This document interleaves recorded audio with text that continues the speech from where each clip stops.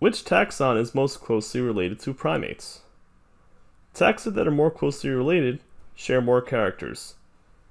If we look at the primates, the group of organisms that share the most characters with them are the rodents and rabbits. So the answer is choice B.